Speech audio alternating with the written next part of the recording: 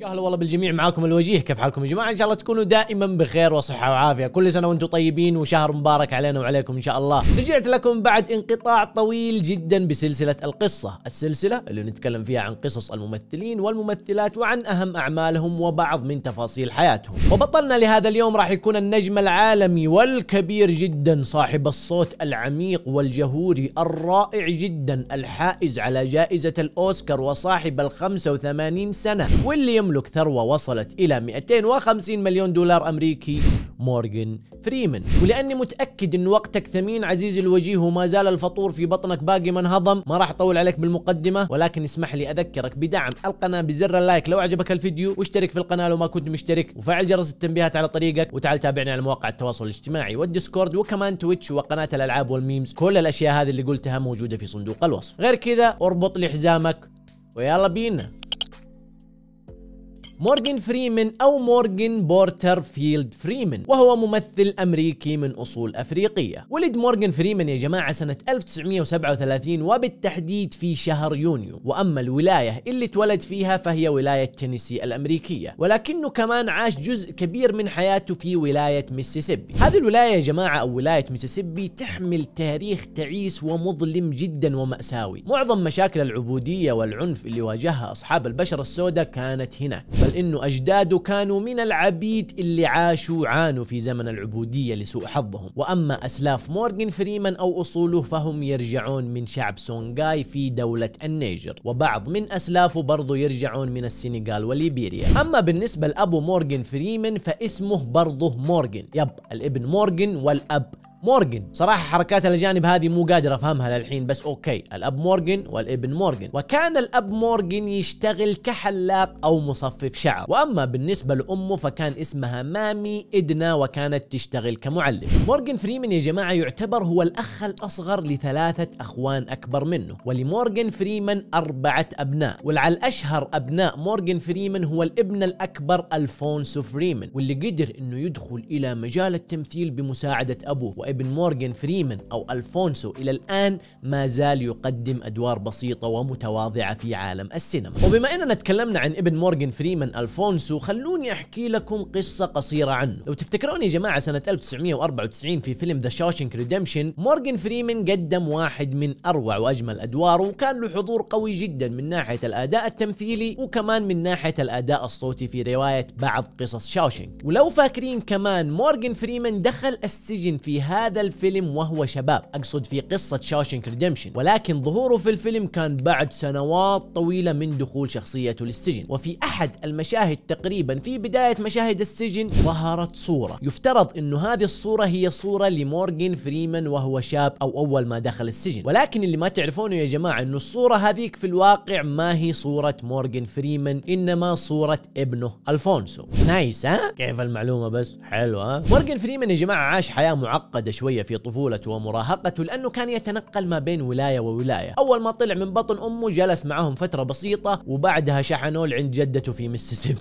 جدك يا تقول شحنوه؟ okay أرسلوه لعند جدته في ميسيسيبي. وتنقل داخل ولاية ميسيسيبي أكثر من مرة ومنها إلى شيكاغو. فكانت طفولته ما بين مدينة ومدينة وما استقر إلا بعد ما فرفر مدن وولايات كثيرة. مورغان فريمان يا جماعة درس وتعلم وكانت أموره في السليم من الناحية التعليمية وقدر إنه يمثل في المسرح المدرسي وشارك في عدة مسرحيات. ومش بس كده كمان دخل في مجال الموسيقى وتعلم الكثير في هذا المجال. ولكن أثناء تخرجه وصل إلى مفترق طرق. الآدمي جاته منحة دراسية في مجال الدراما في جامعة ولاية جاكسون ولكنه رفضها وقرر إنه ينضم إلى القوات الجوية الأمريكية. يا ولد دراما تمثيل فلوس مسيرة حلوة وبداية طيبة لك. ولكنه رفض وقال لا أبغى أخدم بلدي. وانضم بالفعل إلى القوات الجوية الأمريكية. وراح تتفاجئون يا جماعة لو أقول لكم إنه مورغان فريمان قدر إنه يحقق إنجازات كثيرة في القوات الجوية الأمريكية. في البداية اشتغل في قسم العمليات والرادار وبعدها اشتغل كميكانيكي للطائرات الحربية. يب عندك طائرة حربية خربانة كلم مورغان فريمان يظبطها لك. وبعد فترة من انضمامه للقوات الجوية تم ترقيته. وبعد ما كان مجرد موظف في قسم الرادار والعمليات وبعد ما كان ميكانيكي يصلح الطائرات الحربية تعلم وصار طيار حربي من الدرجة الأولى. يب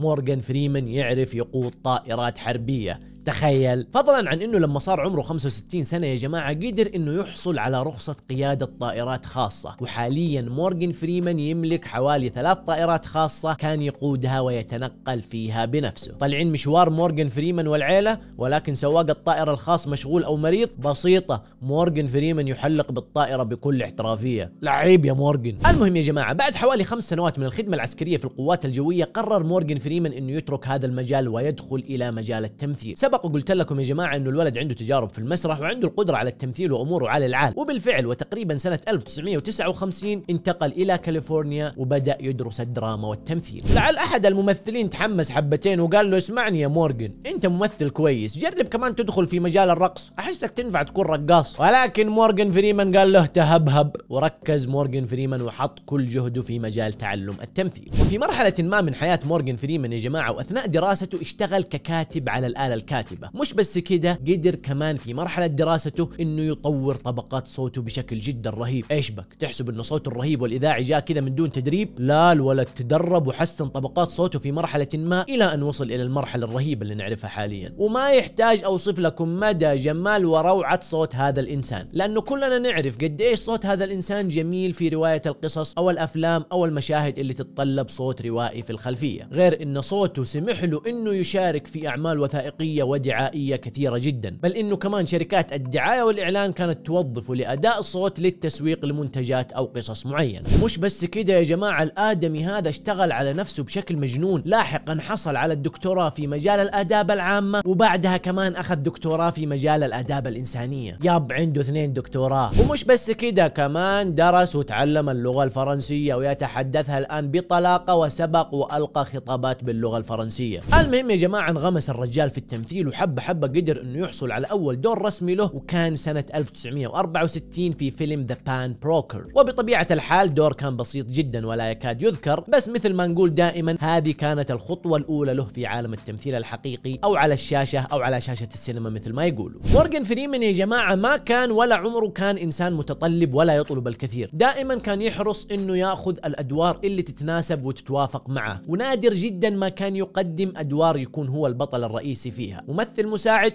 okay ولكن ممثل رئيسي ما كان يشغل باله في هذه الجزئية ابدا. أهم شيء بالنسبة له إنه الدور اللي يقدمه يكون مناسب له ويقدر يقدمه على أكمل وجه وبدون أي مشاكل سواء دور بطولي أو ثانوي أو حتى كومبارس. فضلا عن إنه الشغل يا جماعة مع مورغان فريمان جدا جدا سهل. كثير مخرجين ومنتجين يحبون يشتغلون معه لأنه يستمع أكثر مما يتكلم. ما يسبب مشاكل ولا يزعج أحد ولا يكثر كلام في مواقع التصوير. ويتميز مورغان فريمان بميزة نادرة جدا عند الممثلين ألا وهي الصبر وتحمل ثقل العمل. الآدمي عنده كمية صبر عجيبة ورهيبة في مواقع التصوير. مستعد يجلس لأطول فترة ممكنة وما راح تشوفه يشتكي ابدا. غير إنه عنده خبرة كبيرة جدا في مجال التمثيل سواء كان المخرج أول مرة يشتغل معاه أو كان المخرج سبق واشتغل معاه يعطيه الأسطر تبعه أو النص تبعه وبعدها يقدم لك الدور اللي تطلبه منه بدون أي مشاكل وبكل قوة. وبعد ما يخلص ما يكثر كلام يضرب الباب وسلام عليكم. ممثل رائع. أمام الشاشة وكمان خلف الشاشة. مورغان فريمان يا جماعة تزوج مرتين في حياته وكلها انتهت بالطلاق للأسف. ومن يومها وهو يرفض الزواج تماما. الزواج في سكة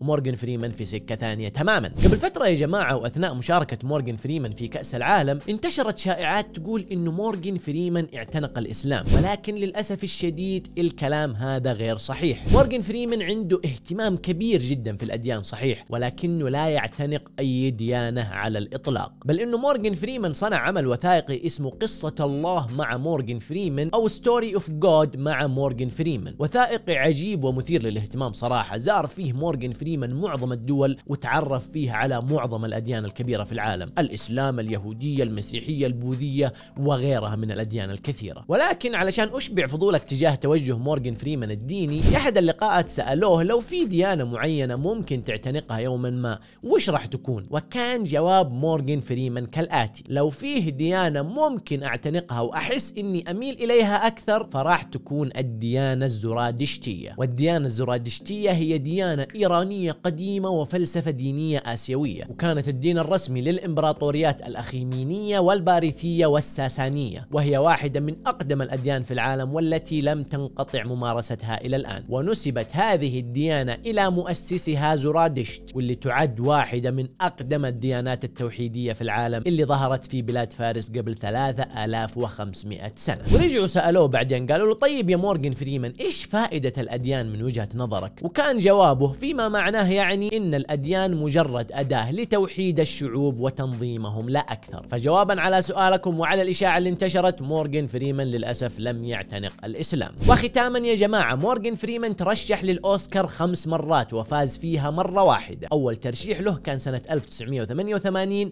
عن دوره في فيلم Street Smart وثاني ترشيح له كان سنة 1990 عن دوره في فيلم Driving Miss Daisy وثالث ترشيح له كان سنة 1995 عن دوره الشهير في فيلم Shawshank Redemption ورابع ترشيح له كان سنة 2005 عن دوره في فيلم Million Dollar Baby. وفي هذا الفيلم بالتحديد فاز بجائزة الأوسكار. وأما آخر ترشح له كان سنة 2010 عن دوره في فيلم Invictus وبس والله يا جماعة إلى هنا نكون وصلنا نهاية الفيديو. كل سنة وأنتم طيبين وشهر مبارك مرة ثانية. شاركوني في التعليقات أفضل أفلام الممثل مورغان فريمان بالنسبة لكم. ولا تنسوا الضغط على زر الإعجاب لو أعجبكم الفيديو واشتركوا في القناة لو ما كنتم مشتركين. وتعالوا تابعونا على مواقع التواصل الاجتماعي وكمان قناة الألعاب وال memes والقناة الترفيهية و server ال Discord.